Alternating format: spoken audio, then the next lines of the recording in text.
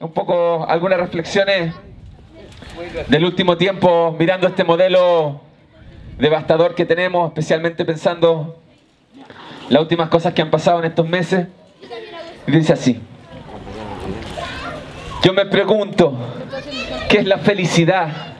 Y si se podrá conquistar sin la necesidad de que otro ser humano sufra, sin enemistad, sabiendo que la vida es frágil y se puede trizar.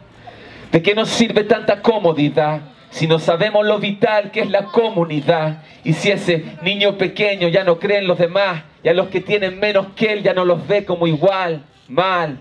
¿Cómo podemos saber tanto sin saber nada? Porque insistimos en ignorar lo que hacemos mal. Esa ceguera que tenemos en que nos vemos que lo que queremos más es lo que al final nos va a matar. Mira lo absurdo del mundo moderno nos convencieron que los enfermos son los cuerdos y los cuerdos son los enfermos.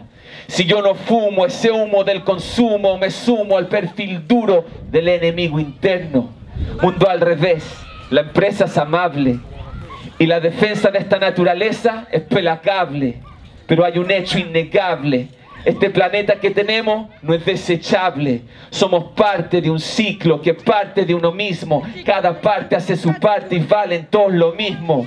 Y así es como yo concibo el comunismo. Comprendernos todos como un solo organismo. Yo te necesito, tú me necesitas. Sin esas conexiones no existen nuestras vidas. Si tú me compartiste sin pedirme nada, yo no puedo sentirme feliz si a ti te falta. Y eso no es utopía, se llama potencial. Si uno confía que en el pueblo esa capacidad vive y sigue luchando por ella, vamos a cosechar la sociedad más bella.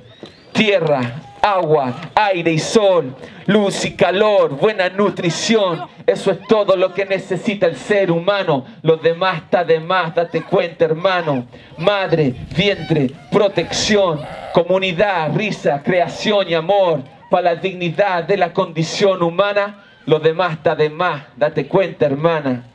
Yo no voy a cerrar mis ojos, no voy a tapar con un dedo el sol, voy a sumar mi voz a los que hoy saben que esto es vida o muerte. Yo no voy a cerrar mis ojos, no voy a tapar con un dedo el sol, voy a sumar mi voz a los que hoy saben que esto es vida o muerte. Vale, muchas gracias.